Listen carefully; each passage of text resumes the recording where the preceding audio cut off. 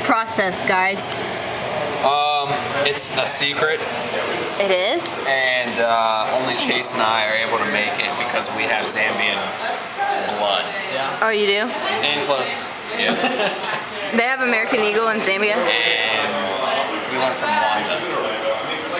So we got porridge. You some porridge? We, can- we should have invited her. I kind of like porridge. Miss Unza? Yeah. You're doing a pretty good job stirring it up. Well, thank you.